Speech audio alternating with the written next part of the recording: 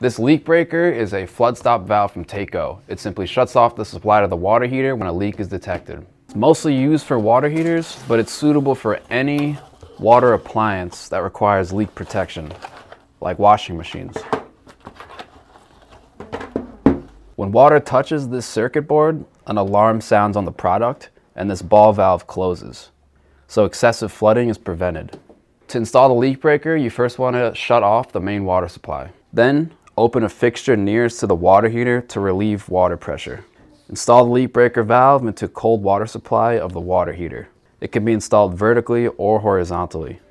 Lastly, you put the circuit board under the tank where water is most likely to leak. Bicolor LED lights and alarms let you know the status of the leak breaker at all times.